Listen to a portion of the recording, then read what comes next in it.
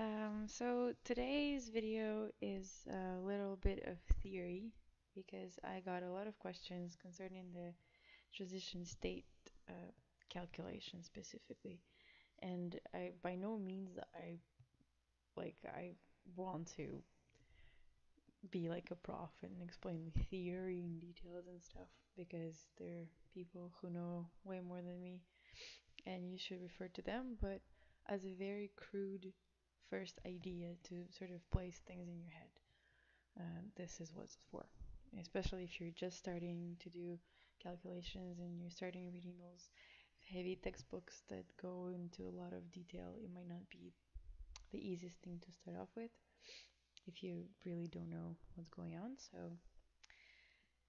in this PowerPoint, I want to quickly go over what is a transition state and why is it so complicated to calculate it? And uh, a little bit of you know explanation as to why it's all hard. So shall we? Let's go. The way we usually imagine the energy changes during your reactions, the way we were taught about it in like thermodynamics, right? So we have the Gibbs free energy changes, and that's what we always picture when we think about energy of a reaction, right? But then if we stop for a second and think, what is this curve about? What does it mean? What does every point on this curve mean?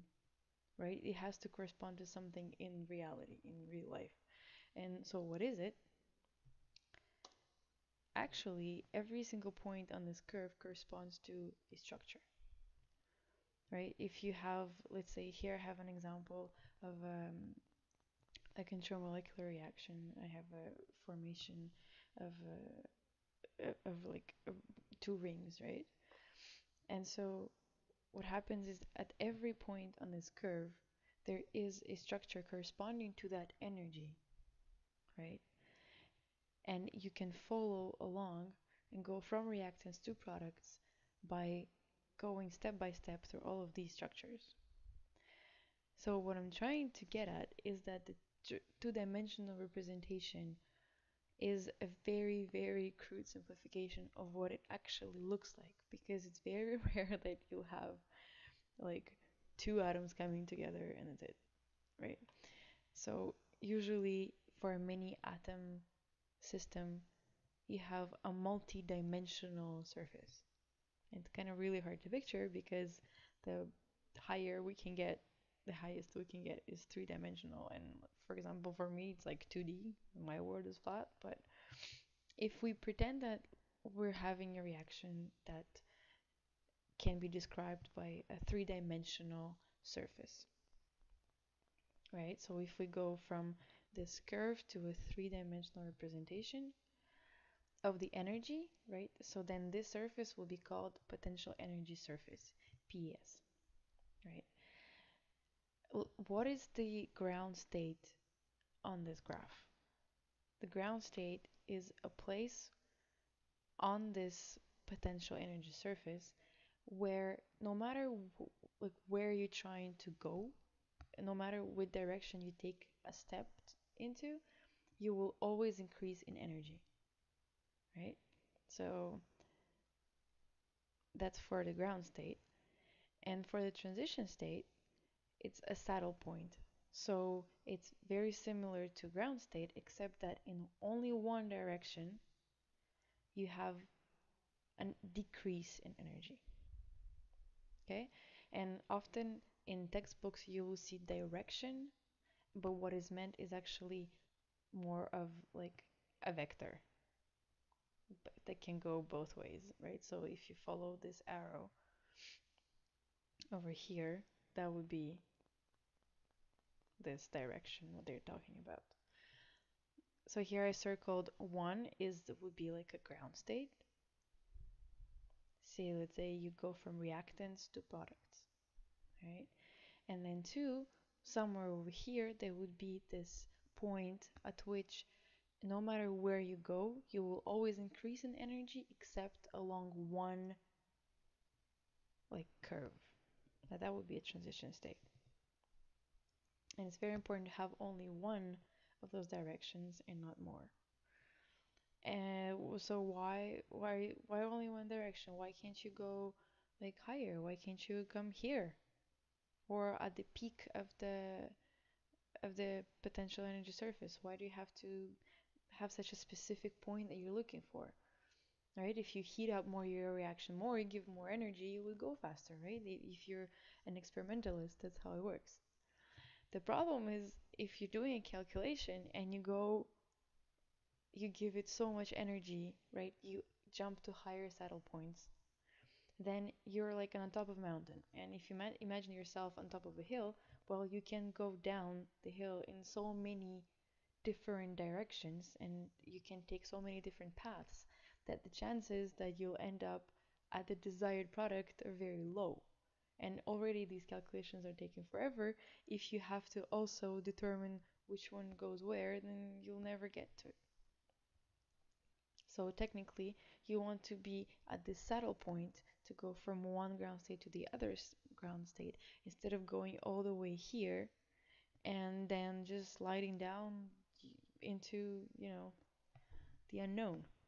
So basically, what you're doing as a theoretical, as a computational chemist, right, and you're, you're trying to find the transition state of a reaction is that you're poking around the potential energy surface not really knowing where you're going.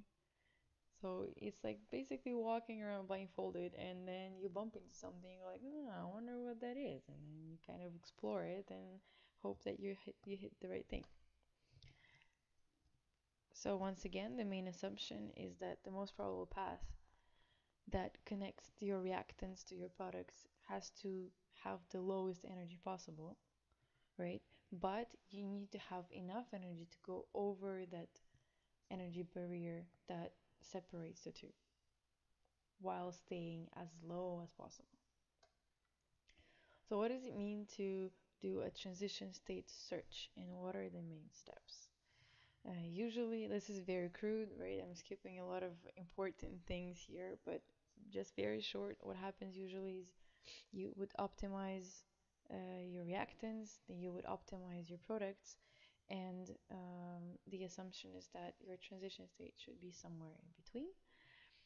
It's very rarely right in between, so you have to, you know, spend quite some time to find this, uh, what I say, a key constraint.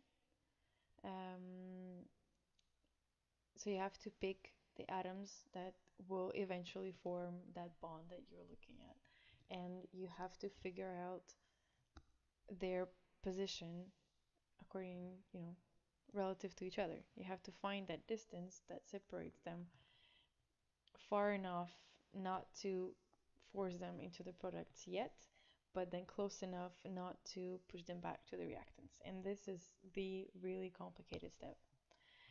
And then when you optimize this constraint structure that you you hope would be a transition state then you have to do a frequency calculation and make sure that the imaginary frequency that you get is you have only one of them and that it corresponds to the movement like the vibration corresponds to these atoms going from reactants to products right? This is it's it's a long process if you don't really know where you're going uh, and especially the subtle like the the frequency calculations are rather um, long depending on your you know uh, computer power uh, availabilities right but if your system is large then it's kind of long but it's a necessary step uh, there's no way out uh, so this is uh,